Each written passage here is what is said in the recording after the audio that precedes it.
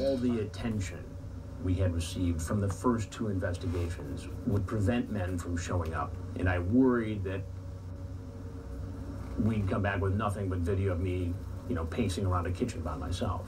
That wasn't the case. It's Saturday night in the Connecticut suburbs. Autumn is in the air.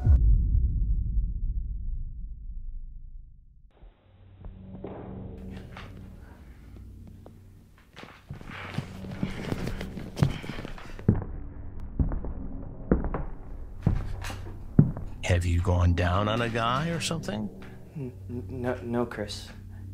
You want me to bring you something? How about a cock sandwich? Yeah, sure, sure, Chris. Uh, a, a sandwich.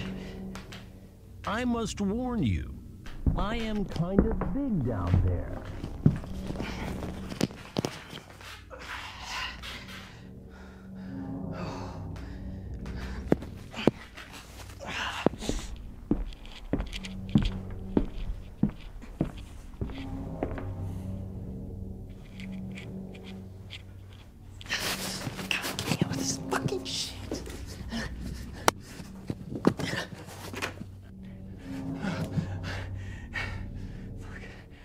Chris, just, just let me go. There, there won't be any trouble. I, I, I swear.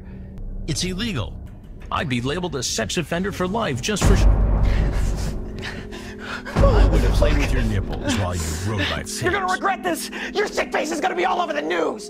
About to be on our news, dog. Oh, thank God. Get on the fucking ground, you pedophile! No! No, you don't understand! No! Yeah, you're gonna be locked up for a long time, pal. You have anything that will poke me, stick me, or stab me? yeah, yeah.